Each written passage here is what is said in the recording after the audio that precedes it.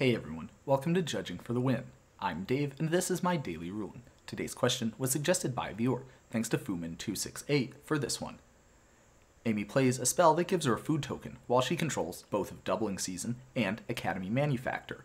What happens? Okay, so the first thing that I want to point out with this question is that both of these cards use the word instead. That means that both of these are considered to be replacement effects.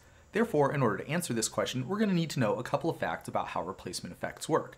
So, first of all, both of Doubling Season and Academy Manufactor want to replace something about this effect that gives Amy a food token.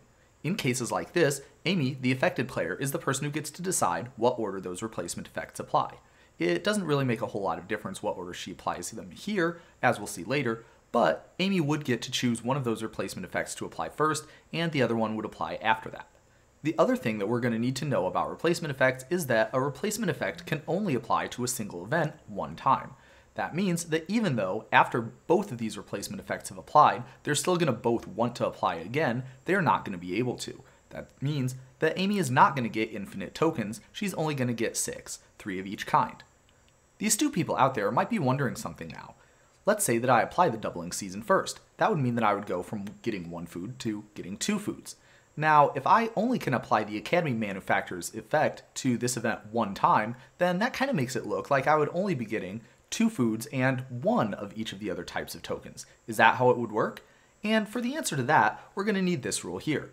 We can see that the event of create two foods can indeed be treated as two separate events for the purposes of Academy Manufactor's ability. That would mean that we can indeed apply Academy Manufactor to the event of creating a food and the other event of creating the other food. That would mean that you would indeed end up with two of each type of token in this case. And that's all I have for you today. How did you do? Join me again tomorrow for another daily ruling, but until then, I hope you have a great day.